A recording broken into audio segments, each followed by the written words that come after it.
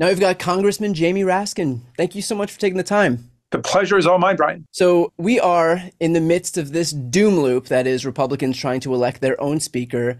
More and more Republicans are now recognizing how bad this looks for them in the House and trying to pin the blame on Democrats for their inability to elect a speaker of their own party, saying that all the Democrats joined with just a tiny little fraction of Republicans. And so, because of that, Democrats should actually shoulder the blame here. Can I have your response to that?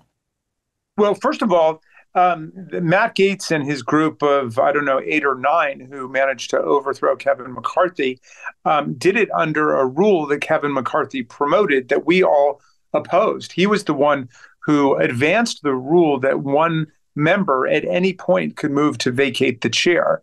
So uh, he's hoisted on his own petard. I mean, he's a, a victim of his own terrible uh, rulemaking. And you know, you, if you you live by extreme MAGA rules, you die by extreme MAGA rules. And um, that's why he was overthrown. I mean, we have been consistent. We have voted, I think, uh, now it's 18 times, maybe 19 times for Hakeem Jeffries for Speaker. We're Democrats. That's who we want. We're not voting for Kevin McCarthy or Jim Jordan or any of them. I mean, it may be that there is a pro constitutionalist Republican we could support if we decided to do that in our caucus. I mean, if it came down to it, we would probably support Liz Cheney because she, even though we disagree with her politics so much, we find her to be a champion of, you know, constitutional patriotism. Yeah, well, I think the fact that she's a champion for constitutional patriotism is the exact reason why she wouldn't be a suitable choice for Republicans. But you know, Jim Jordan has lost multiple rounds for Speaker and yet continued to plow ahead as if somehow that was a mandate for him to serve. So, can you speak on the irony of Republicans writ large embracing election denialism only to now get stuck with the humiliation of having to deal with an election denier in their own conference?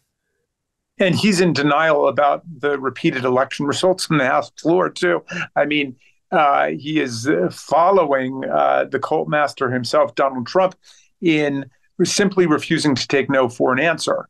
Um, and it's as if his ambitions for power and control trump everything else that's going on. It's more important to them than uh, aid to our besieged democratic allies in uh, Ukraine uh, and Israel. It's more important getting humanitarian assistance to the civilians in Gaza. It's more important than keeping the government of the United States going. Um, and so, um, you know, we're telling them come over and meet us in the middle for a bipartisan path forward. There are a lot of things we can work out, but it's not going to be by putting an insurrectionist in the speaker's chair, someone whose overriding legislative agenda today is to ban abortion across the country. What does it say that when the Republican conference was forced to vote in public, Jim Jordan finished at the end of this whole charade with 194 votes, but when the subsequent private vote took place out of view of the bloodthirsty, rabid base, Jordan only garnered 86 votes, less than half. What did you take from that? Well, the, um, I think it confirmed the applausometer that we were registering on the House floor. Like when uh, uh, Hakeem Jeffries was nominated, there was enthusiastic, lusty applause from the Democrats, really cheering and feeling very good about his leadership. And even after uh, Jordan was nominated um, the first time, um, it was just completely lukewarm, tepid applause. So you got to believe that there were some people who were voting yes in public because they didn't want to face the wrath and the retaliation and the reprisals of Fox News and the death threats and so on, uh, but were opposing him in private. Yeah, hopefully nobody relayed that information to Sean Hannity and his producers. Uh, Congressman, what are, and you alluded to this just a few moments ago, what are the implications of not having a speaker or a functioning House now in particular, given what we're seeing in Israel and Ukraine? I mean, the, you know, this is the U.S. House of Representatives. This is the House of the people. Um, you know, unlike the Senate, which is apportioned according to the states, each state getting two. Uh, this is this is the best approximation and representation that we have of the American people. Um, and there are a number of functions that we have that are constitutionally assigned, like originating budgets. Um, but we're not doing it. And um, the clock is ticking on November 17th when we will either pass a budget, um, perhaps a continuing resolution, or another budget, um, or the government will shut down but we're, we're just lurching from crisis to crisis under the GOP. If the Republican Party is not ultimately able to land on some speaker, some permanent speaker, there has been the idea of Patrick McHenry floated as as an interim speaker. So, do you think that the Constitution allows for Patrick McHenry or any interim speaker, for example, to be empowered to move legislation or budget bills or aid packages in that role? Well, the Article 1 of the Constitution says that each house may set and define the rules of its own proceedings. So um, we theoretically could set up, you know, an office in the House called moderator or MC, or I suppose acting Speaker pro tem. Um, the question is, who is the House? Um, can the House do that if the House doesn't have a Speaker? And we're just in terra incognita. Nobody knows. I mean, as with so many other things during the Trump period of derangement and chaos, these are all cases of constitutional first impression. So if we were to pass legislation during that period, nobody really knows, you know, whether that could be challenged, who would have standing to challenge it, would, would it be considered a non-justiciable political question? I mean, it raises, you know, a lot of serious legal problems. Um, also, um, McHenry himself has said he would not stay on in a capacity that required him to bring legislation to the floor and exercise other powers that he does not see as contemplated by that office, which means we would go to whoever is next on Kevin McCarthy's list. And nobody's seen the list, it's a secret list. Well, who would be the arbiter of whether any legislation or any rules handed down without a speaker in place to hand them down is, is valid? Well, the parliamentarian would be the first cut at it. Um, you know, I imagine that the background constitutional rule is a majority could adopt rules or provisional rules or transitional rules. Um, you know, I suppose the argument can be made that when the Constitution departs from a simple majority rule and says that you need two thirds, for example, for uh, you know passing a constitutional amendment or two thirds to convict a president in an impeachment trial, it specifies that departure from the general majority rule background presumption. The Supreme Court, for example, operates with a majority rule, although it's nowhere stated in the Constitution. They've just always done it. So I think that that would be a safe presumption. Um, but again, you know, the Constitution um, invokes the existence of a speaker. And so one could query the legality of any legislation that we pass absent a speaker. So we just don't know. Um, and, you know, the chaos continues for at least another week. By the way, I, have said, you know, we want Hakeem Jeffries. We think he's super well organized and somebody who really stands for the American people. But if they can't stomach voting for a Democrat, I hope that the moderate Republicans could find somebody like Liz Cheney or Mitt Romney or um, Angus King from Maine who we could gather consensus around and bring that person in. You know, we had alluded to this uh, a few minutes ago as well, but there have been those reports of Jim Jordan's allies threatening the wives, for example, of Republican holdouts. Can I have your response to that? You know, I think about January 6th uh, and the run up to it when um, there were tons of death threats and threats of political retaliation and threats of violence that were going to members of Congress. We saw what happened on January 6th. So if you don't renounce and denounce the kind of political violence we saw, then it's going to go from hang Mike Pence and where's Nancy to let's get Liz Cheney, let's get Adam Kinzinger, let's get the Democrats to eventually let's get you. Um, and so the, you know, I think the moderate Republicans have learned uh, a tough lesson over the last several days uh, about what the rest of us have been living through for a long time now. I think meme culture would suggest that this is the uh, the leopards eating faces party in action. Um, You know, the, the, the question I get more than any other question right now, as we've been um, living through all of this dysfunction in the House, is will any moderate Republicans recognize that dysfunction and defect by voting for Hakeem Jeffries? What are your thoughts on that? Well, I think that, you know, even the more moderate Republicans who are in a Biden district believe that would be the end of their career as Republicans you know, I think that their suspicion is they would have to leave the Republican Party and become Democrats if they did that. Um, I know a lot of them feel much closer politically now to um, our political leadership than to Matt Gaetz and Jim Jordan and the rule or ruin faction of the MAGA right. But to your point, as you mentioned before, they can't really do anything in public because then they'll be at the, you know, at the mercy of the of the the, the Fox News machine and the House Freedom Caucus um, and and all of their tactics. And so that's why what we see in public is going to be a lot different than what we see in private. That's why we saw, you know, 194 Republicans vote for Jim Jordan in public, but then when it's a private ballot, uh, suddenly that support is cut down by more than half.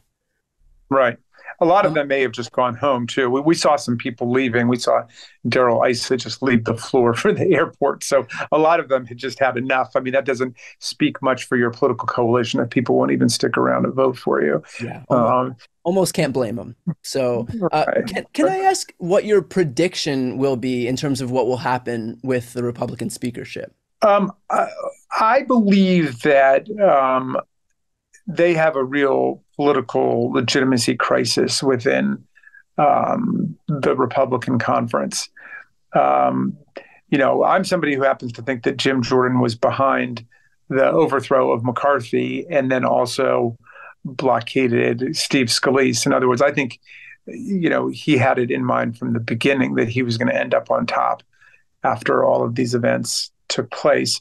And so that hardcore right wing faction um, is um, something like a majority or a near majority at this point. Um, but the moderates have been empowered by this last process of saying no way.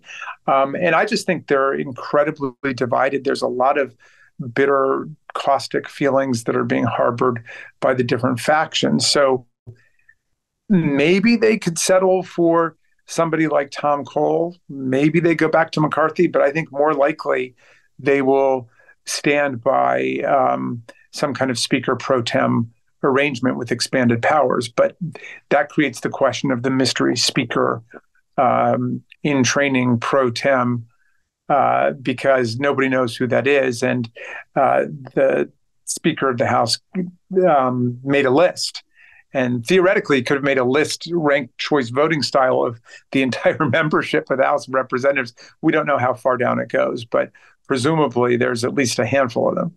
Well, is there any worry that if Patrick McHenry, for example, is empowered for 30 or 60 or 90 days, that that will give someone like Jim Jordan the time to then work on all of those holdovers instead of just what we have right now, which is, you know, the momentum was slipping away from him and he didn't want to deal with the abject humiliation of losing vote after vote after vote, day after day after day. But then this different situation would kind of allow him to take his time and really exert pressure onto those holdouts. Is that a worry at all? Maybe, but of course, if you just say came right out and elected McHenry or another moderate, they can move to vacate the chair anyway. And at this point, since it's utter chaos and instability there, there's nothing that would stop them from doing it. Um, I, I, think that um, Jordan has gotten his comeuppance by the last several days. And, you know, there are other things that were going on behind the scenes. A lot of people were talking about this George Clooney produced documentary about um, Jim Jordan that is out there that um, apparently is is going to expose exactly what happened in the um, the player abuse sex scandal, sex abuse scandal from Ohio State. In general, what's your message to Americans who are watching this dysfunction play out and the chaos play out as they prepare to cast ballots for their elected officials, including their officials in the House, as we head into 2024? Well, look, I mean, we're dealing with a, a, party now which has been involved in a violent insurrection against the Union, an attempt to overthrow a presidential election, which Joe Biden won by more than 7 million votes and 306 to 232 in the Electoral College, has tried to shut down the government of the United States, um, has tried to default on the debt of the United States, is talking about um, basically dismantling all federal regulation for clean air and clean water and climate progress and you name it. I mean, we're talking about a rule or ruin faction that wants power above all other things and doesn't have any vision for progress for the country. So, I, you know, my message to people uh, whenever they call me a liberal, I say, You're damn right, I'm a liberal. The heart of that word is liberty, and I'm a progressive because the heart of that word is progress. But these days, I'm very happy to call myself a conservative because, unlike the party of nihilists um, and insurrectionists, I want to conserve the land, the air, the water, the climate system, the Constitution, the Bill of Rights, the Clean Air Act, the Clean Water Act, the Social Security Act, the Medicare Act, Medicaid, the Civil Rights Act of 64, the Voting Rights Act of 65, the National Labor Relations Act, the Fair Labor Standards Act, you name it. Everything that they want to tear down is everything that we want to conserve and make work that the American people have built up over the decades and centuries of progress that we've made. Perfectly put. Uh, I want to switch gears here to the oversight committee that you sit on. We've apparently got yet another smoking gun uh, from Republicans. This time, James Comer has come out with evidence of the crime that Joe Biden received a loan repayment from his brother in 2018. And of course, we we all know how famously powerful Joe Biden was in the year 2018. Uh, can I have your response to what I what I can only imagine is this uh, this uh, high crime of receiving a loan repayment? Well, Brian, we thought they'd given the whole thing up after the first impeachment hearing yeah. um, when their own witnesses testified that there was not remotely sufficient evidence to justify an impeachment. They didn't even see evidence of a crime, much less an impeachable offense. So now they come back with this huge uh, stack of bank records. And the most that they can pull out of it is that Joe Biden um, repaid a bank loan that his brother got. Um, that's not a crime. That's not an offense. If anything, that's being a good brother. Um, you know, he's helping his family members out. You know, the the the folly continues. Some reporter said to me today on the way in, you know, do you think if um, you guys agreed to have an, an acting speaker pro tem you would demand that they end their impeachment inquiry towards Joe Biden. I said, we'd be doing them a favor at that point. They should be asking us if they can end it because it makes them look utterly absurd and ridiculous. Do you uh, think that there will still be an appetite after the after the disaster that was the first impeachment inquiry hearing that it'll continue forward? I mean, that's what the suggestion by James Comer coming out with this new smoking gun would would uh, would suggest. The big surprise was that it came out in the oversight committee because we had heard that they would be moving things from oversight to the Judiciary Committee. Maybe he negotiated to keep it in return for supporting Jordan for Speaker or something. I don't know exactly what happened. Uh, it's hard to know, but that that was a surprise to some people that they would still keep going within the Oversight Committee. It has definitely not gone well there. Yeah, well, I think if the whole Jim Jordan vote has taught us anything, it's that there's no shortage of a humiliation fetish uh, among the Republican conference. Uh, let's finish off with this, uh, Congressman. How is your health? Well, thank you for asking. I, you know, I finished up my chemotherapy and um, I have done my CAT scan. I've done my PET scan. Um, feel like I should do my dog scan. My dogs have been barking like crazy here.